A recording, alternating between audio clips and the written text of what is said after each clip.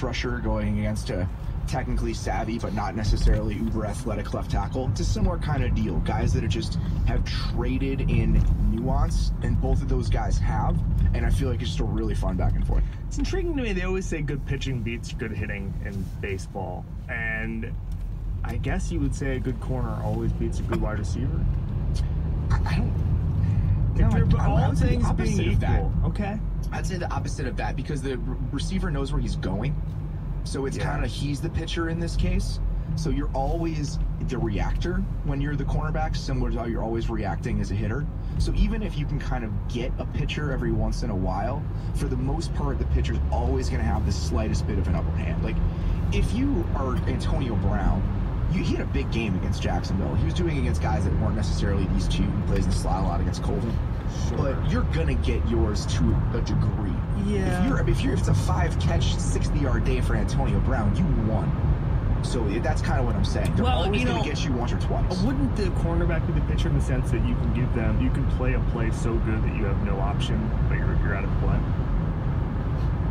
Do you know what I'm saying? Like that, I get that that's what the analogy.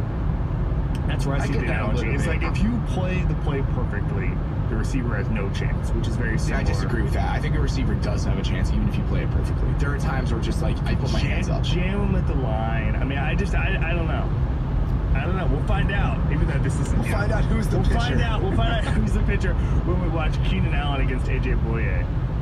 It's a fun matchup, man. I'm excited about it. I like that game. You don't as much. I just, I, I don't know. Hey, it's Is the game here? Is it in LA? Here? It's snowing in Chicago. I don't know where here is. What are you talking about? We're recording this in, from Santa Monica. We all have tank tops on. You guys have pulled out that joke twice already this morning. It wasn't on. appreciate It wasn't on. Uh, That's fair, but yeah, I, I've in, heard it the- We're in the middle of Hollywood wearing polo shirts. It, it makes me feel no better. That game is in Jacksonville, Florida, Oh, where it is not snowing. the LA of Florida.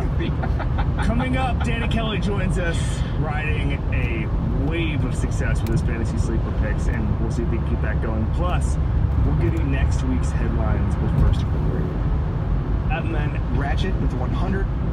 That one, I, I at www.huskytools.com. you that much.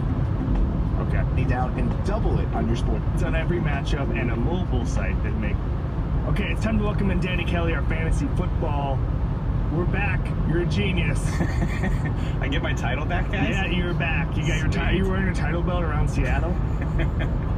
It was a good week. It was a good week, guys. Uh, it helped to have five guys, but all five of them hit, so Yeah. I'm, I'm really happy about it. Are you wearing your all black today for Richard Sherman?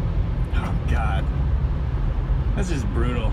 I mean, he's been such a he's been a mainstay for that defense for so long. I mean, he I don't think he's missed a game in like seven years or something. It's crazy. The fact that he was able to one walk off the field and two just walk around the sideline like nothing had happened. Because you know everything I've heard about tearing your Achilles, it's like snapping a rubber band that happens to be like as thick as a rope. oh God. So you feel it, like you feel it like roll up your leg. So the fact that you can do ah. that and just like chill for a couple hours is kind of ridiculous. He said he heard it pop. Yeah, that's what I'm saying. Like oh, everyone, Oh, every Yeah. explanation of I, I've ever heard is that like it's a disgusting injury that you know right away.